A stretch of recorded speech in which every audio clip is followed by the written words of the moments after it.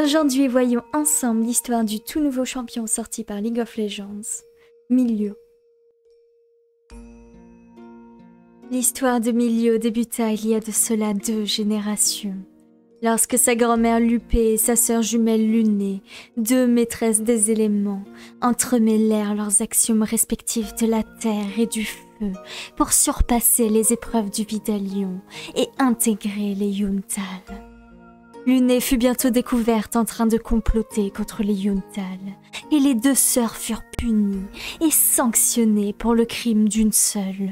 Lupé fut bannie aux confins d'Ixtal, et Luné disparut purement et simplement, emportant avec elle le peu de foi que Lupé plaçait encore en elle.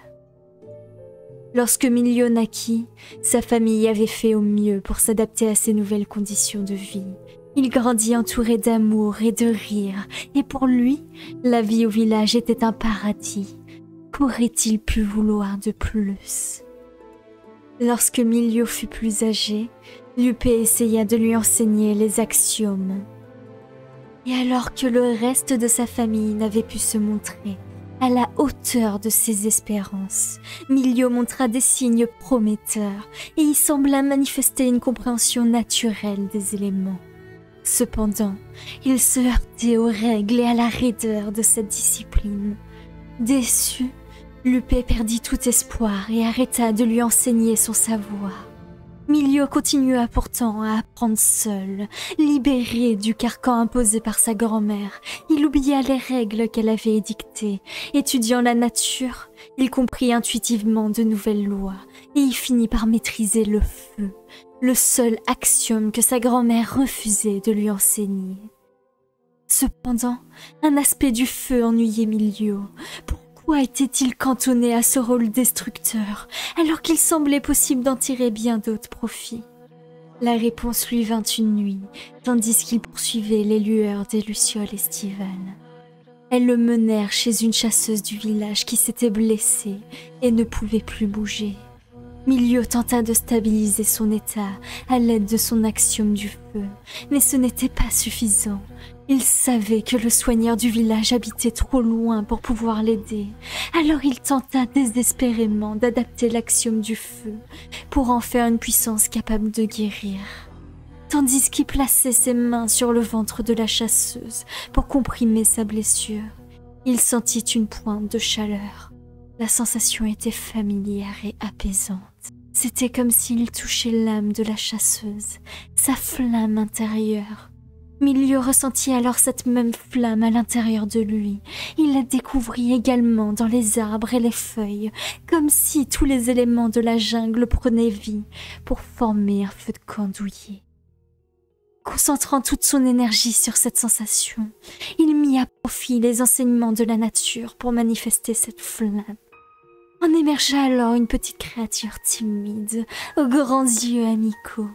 Milio la plaça sur la blessure de la chasseuse et sentit que sa flamme intérieure la guérissait.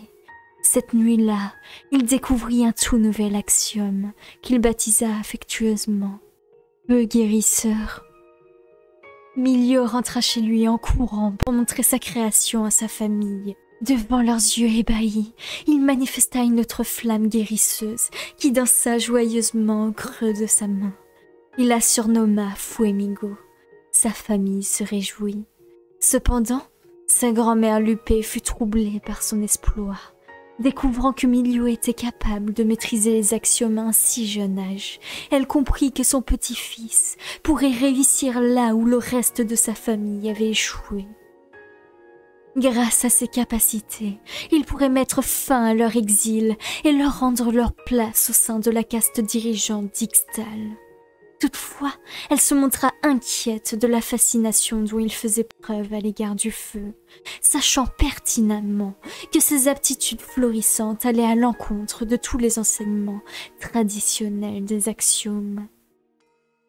Malgré tout, Lupé se dévoua corps et âme à son ultime chance de rédemption.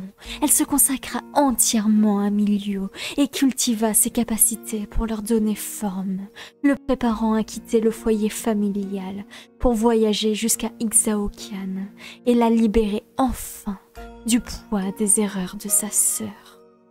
Milieu sentit un lourd fardeau s'abattre sur ses épaules, et l'idée de quitter le village le terrifiait.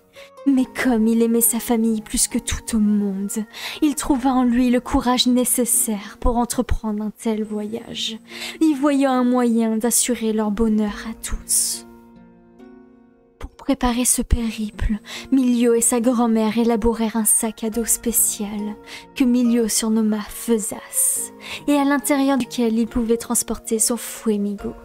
Le cœur lourd, mais un sourire aux lèvres, Milio quitta seul son village du haut de ses douze ans, portant sa fidèle Faisasse et de nouveaux vêtements confectionnés par sa famille. Il parcourut toute l'étendue d'Ixtal, se dégageant un chemin à travers la jungle, campant à la belle étoile et se faisant de nouveaux amis en chemin, sans jamais oublier d'envoyer de ses nouvelles à sa famille pour lui narrer ses formidables aventures. Après un long périple, Milio arriva enfin à Ixaokan, où il entreprit de s'entraîner pour affronter le Vidalion. Depuis lors, le garçon aux flammes guérisseuses a attiré l'attention de plus d'un intéressé, dont Luné, qui attend son heure dans une prison sous la ville. Milio remarque bien les murmures qui accompagnent le moindre de ses déplacements en ville, mais il se concentre sur son intégration au Yuntal, qui fera la fierté de sa famille.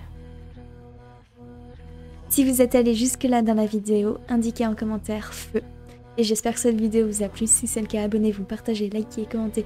Tous ces gestes qui aident énormément les créateurs et qui m'aideraient beaucoup. Et sur ce, je vous dis à la prochaine.